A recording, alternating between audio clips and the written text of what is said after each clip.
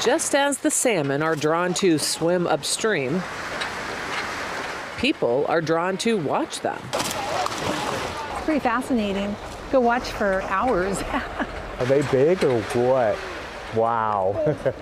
People like Eric Turcott, Uh-oh, he fell back down.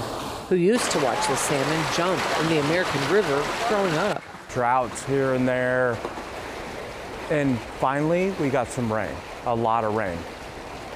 And so here I am back with grandkids now.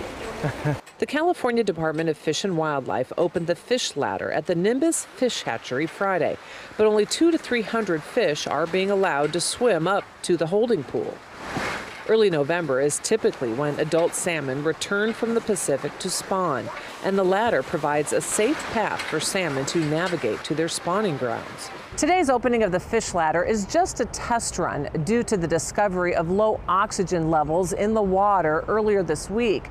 But the California Department of Fish and Wildlife says if the fish do well today, it will be open in full force Monday. Because it was so big and they have teeth right in the front. I didn't realize that. For salmon seekers like Gloria Fanning, it doesn't matter there's a small pool of fish to view for now. She enjoys the front row seat to nature. Oh, well, just the instinct that makes them go upstream and propel the strength that they have, you know, going through this water and going through the gate. I like bringing my grandkid here and letting him see this because, I mean, who knows?